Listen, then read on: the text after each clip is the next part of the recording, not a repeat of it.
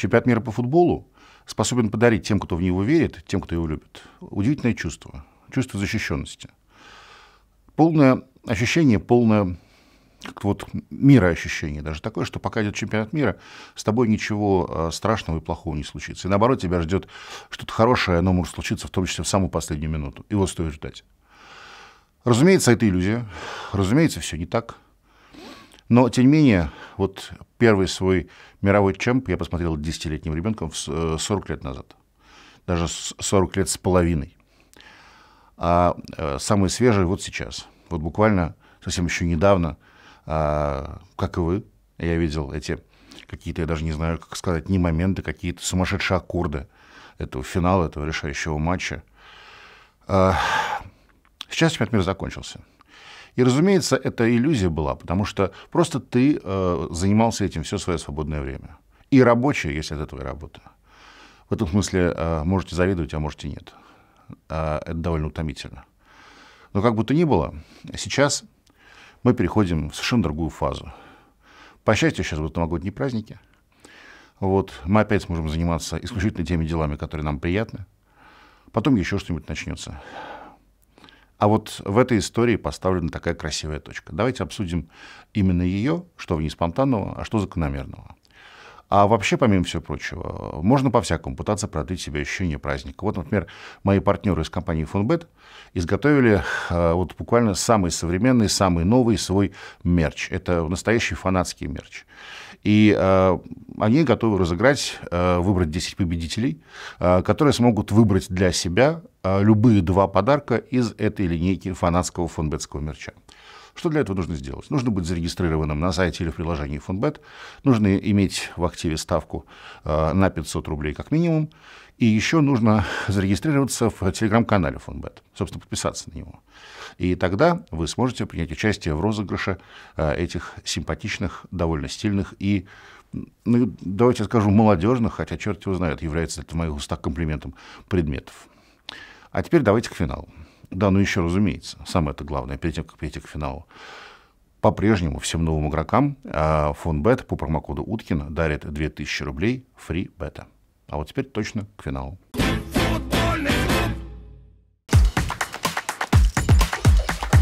Мне почему-то кажется, что если вы не смертельный зануда, вы э, повторите мысль, которая, которая сейчас буквально заполнит интернет на самых разных языках, но, может быть, чуть меньше на французском вы скажете, что это, может быть, самый лучший финал, который вы видели.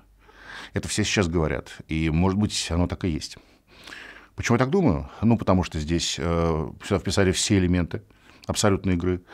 Здесь были два камбэка, не три. Первый камбэк был со счета 2-0, и без двух голов одного камбэка бы не было. Было дополнительное время. Вот мое лично любимое блюдо в плей-офф чемпионата мира, это когда э, в дополнительное время случается гол и, опять-таки, камбэк. То есть, когда развивается сюжет, когда он не просто зрелищный эффект, а когда он вот такой. Ну и, наконец, драматичная серия пенальти. Честно говоря, э, я не хочу показаться пророком, но у меня было ощущение, что французы проиграют именно серию, потому что просто у них на поле оставался уже очень молодой состав. И э, здесь э, было каким нервом дрогнуть. Но как же все-таки, какой изящной, спокойной походкой подошел к мячу Мбаппе и э, забил пенальти Эмилиану Мартинесу. А Эмилиану Мартинес в вопросах отбивания пенальти не зеленый пацан был. Вот. А Мбаппе взял и положил ему э, в третий раз совершенно спокойно и прочее, и прочее, и прочее. Совсем недавно а, вставал вопрос о том, стоит ли бить пенальти два раза за матч. О том, э, стоит ли бить пенальти бывшему одноклубнику или действующему одноклубнику, который типа тебя про тебя что-то знает. Ты про него тоже знаешь, если уж так на то пошло. А, на самом деле вот все это полная ерунда. А представьте себе, если бы движимый этими соображениями, Мбаппе взял бы и не пошел к мячу в дополнительное время. Но он же уже бил. Это действительно упражнение, которое сложно повторить два раза. И чем дальше, тем сложнее. Потому что, ну, один раз забить пенальти можно какому угодно вратарю. Но рано или поздно он тебя его отобьет. И ты увеличишь эту вероятность. Ты, в общем, осложняешь себе задачу. А потом в серии пенальти как не бить? Как не бить первым? Это же, в общем, такое э, странный, странный пережиток очень давних времен, что суперзвезда шел бить последним. А если не вообще не дойдет очередь? Какой смысл тогда было все это беречь? А, вот Сейчас в основном, и это, в общем, правильно, это многие ждали, это мне кажется справедливым. А я вообще просто не жду справедливости от спорта никогда никакой. И а, я, на самом деле, справедливостью люди называют сбывшееся свое собственное желание и соответствие сюжету, который ты хотел видеть. Ну и пусть так, в конце концов, это вопрос терминов. И это такая невинная радость, что почему нужно с этим э, спорить и ругаться. А, но сейчас, конечно, главная тема, что все наконец получилось, и у Месси наконец-то есть титул. И он завоевал его в самый последний момент, и, в общем, когда уже вы знаете, сколько ему лет и прочее, прочее, прочее. А мы с этим останемся в истории. По-моему, Месси, в общем-то, уже и был великим. И никуда от этого не деться, возможно, величайший в истории. Но этого финала, вот этого финала, его не было бы, если бы не Килян Мбаппе. Потому что Франция играла ужасно. Франция вообще первый час как будто бы не приехала еще на игру. Потому что все решалось в самый последний момент. Все решалось им. И на самом деле он ведь еще и хет-трик мог и в основное время сделать. И никто не знает, как бы это повернулось. Ну, потому что это был такой бы серьезный поворот. Вот это финал на самом деле Мбаппе. И он, э, в моем понимании, останется таким и будет так озаглавлен. Еще и потому, что Мбаппе его не героическая, а драматическая фигура. Может быть, даже с оттенком трагизма. Хотя какая же трагедия, если все живы, никто не умер, и, в общем-то, призов тоже хватило на всех. Технологии проникают в футбол все глубже и глубже. Совсем недавно в России на чемпионате мира дебютировала система VAR, а в Катаре работает уже полуавтоматическая система определения офсайда. Появление новых технологий, что в футболе, что в других отраслях жизни, это результат работы айтишников. Айтишники – короли современного мира. И если вы хотите присоединиться к этой королевской семье, отправляйтесь в онлайн-школу Skill Factory. Skill Factory предлагает всем желающим комбинированный 10-месячный курс по программированию Python разработчик. Он подойдет как тем, кто уже имеет опыт в IT, так и тем, кто начинает работу с нуля. Вы изучите универсальный язык программирования Python, а также научитесь асинхронному программированию. Это такая технология, которая позволяет программе решать сразу несколько разных задач одновременно. В общем, э, очень экономит время и ресурс. Время и объем занятий вы определяете сами. Обучение основано на реальных кейсах крупных компаний, так что вы сможете принять их опыт. Специалисты Skill Factory будут всегда рядом на связи. Если возникают вопросы, сразу к ним. Точно помогут. По итогам обучения вы получите диплом о профессиональной переподготовке. А специалисты карьерного центра Skill Factory помогут вам найти работу для применения новых навыков. Они свое дело знают, но если вдруг этого не произойдет, вы получите назад все деньги за обучение. Но где еще вы такое найдете?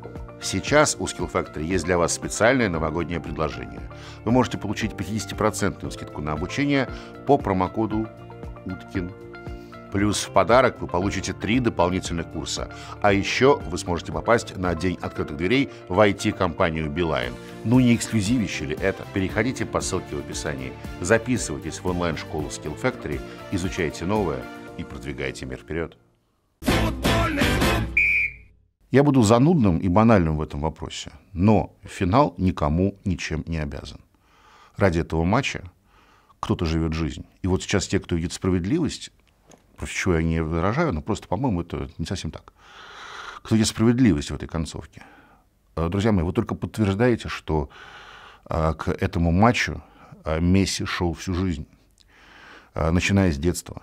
И без этого матча, и без этого титула осадочек все-таки оставался бы. Вы ведь вот об этом говорите. Ну, а раз так, послушайте. Если так, то это означает, что этот матч мог быть абсолютно любым ты просто добиваешься победы в самый нужный тебе момент. А вот все остальное – это удивительный антураж. И вот а, в этом матче мог бы быть антигерой. И он был бы из сборной Франции. И это был бы Усман Дембеле. Потому что до того, как Франция начала отыгрываться, Дембеле а, был абсолютным антигероем матча. Он вообще странный парень, его мало кто любит. А, такой он немножко безбашенный, и очень удивительный, э, потому что он спонтанно может сделать такие вещи, которые вообще никому не подвластны другому в принципе, может быть. Но иногда он выглядит полным идиотом. И Усман Дембеле, так или иначе, э, привез эти самые первые два гола в ворота сборной своей страны. Первый раз он просто потерял Ди Марию вообще, и глупейшим образом нарушил правила, заработал пенальти. А в другой раз через его зону опять-таки пришла опасность, правда, где был в это время сам Дембеле, просто невозможно понять. ну, может быть, можно, но черт его знает. И его тут же заменили. И тогда мы с вами говорили, что да, конечно, Месси это Месси, Аргентина это Аргентина, но Месси, понимаете, что великий. А вот а, проиграть чемпионат, финал чемпионата мира в одно лицо, еще и не будучи при этом вратарем, потому что в, в, в, вратарские ошибки всегда решающие. Вот это, конечно, надо было суметь. И э, камбэк Мбаппе, Мбаппек, он, конечно, э, помог Усману не становиться таким антигероем, в том числе. Потому что ну, это было бы несправедливо.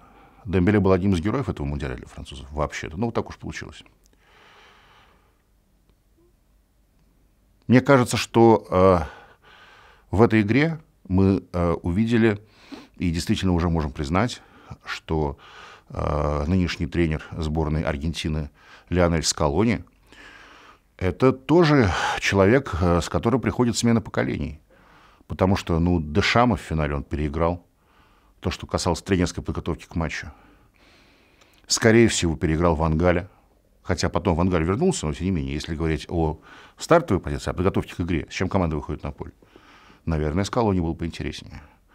И он уже не выглядит главой клуба близких друзей, которые являются его помощниками, и каждый из которых был более ярким футболистом, чем он. А, и не является а, патроном э, клуба друзей Месси, которого на самом деле Месси и поставил, и так далее и тому подобное. Нет, Скалони самостоятельная фигура. И он приходит на смену, а, ну не обязательно на смену тренером старшего поколения. Вангаль уходит, а вот Дашам никуда не уходит. Тем не менее, он заявляет о себе. Заявляет о себе как равный и очень интересный соперник. Безусловно, сборная Франции, не свались на нее гигантское количество травм. Вы уж меня извините, но я думаю, что она разорвала бы любого соперника, ну, может быть, кроме Бразилии на этом турнире. Если бы они все были. Если бы были Погба, Бензема, Канте, может, кто-то еще. А, но этого не произошло. И в итоге э, финал состоял из каких-то удивительно милых, теплых и очень несказочных, очень жизненных историй. Про Добеля я уже сказал. Ну, а появление Ди Марии – который, как кажется, уже, в общем, на его и особого расчета не было. И мало того, когда Ди Мария появился в составе, все подумали, ну, очень многие подумали, поэтому тоже был завален интернет, что он будет играть в зоне Тео Эрнандеса, левого защитника французов, который подключается к атаке и тем самым проваливается иногда, неизбежно. Так вот, э, Ди Мария достался в подарок Дембеле, и они там с Кунде не могли разобраться, как его держать. И когда Эрнандес бесился в конце первого тайма, он несколько раз попал в кадр, и было видно, что ему очень плохо, что он очень зол, страшно зол. У меня такое ощущение, что Эрнандесу ведь тоже сказали перед матчем, что старик, а у тебя будет Димария играть. И вот Димария все не приходит и не приходит. А от Димарии все опасности и опасности. Ну как тут не взбеситься? Никак. Вот Димария еще один человек, который... Посмотрите, сколько у него титулов. Он тоже безоговорочно великий игрок из когорты великих, из великих вот этого самого своего времени, которое уходит. А он всегда был, собственно говоря, оруженосцем при Лионеле. И даже когда лучшим в матче, например, был Ди Мария, как это было, например, а, в полуфинале э, бразильского чемпионата мира, всегда лучшим признавали Месси. И золотой мяч для Месси на этом чемпионате мира, золотой мяч лучшему игроку, награды ФИФА, не путать награды франц-футбола. Этот золотой мяч, он ведь тоже у Месси уже был в том самом 2014 году. Просто он тогда не был ему очень рад, потому что он, у него был титул лучшего игрока чемпионата, который он не выиграл. А сейчас есть это и другое. Но я вот не уверен, что а, именно Месси безоговорочно лучший игрок финала. Все-таки когда ты получаешь мало времени на то, чтобы себя реализовать, и ты уже реагируешь на то, что твоя команда проигрывает, это более сложная задача. Это был финал Мбаппе. Что не отменяет ни единого слова, сказанного о Лионеле Месси. И не отменяет того, что сборная Аргентины провела в большой очень турнир, может быть, даже великий для себя турнир, эпический, начавшийся с нижней точки падения и завершившийся в финале. А, Но все, что мы говорим о Мессе, мы говорим на фоне вечности. А сегодня не получилось бы, ну или уже вчера, вот в этот день, в это воскресенье, 18 декабря, мы бы с вами посмотрели довольно скучный матч, который в сущности решился уже в первом тайме. Но мы увидели великого Мбаппе. И какое же счастье, что мы будем с ним жить еще довольно долго. Вольный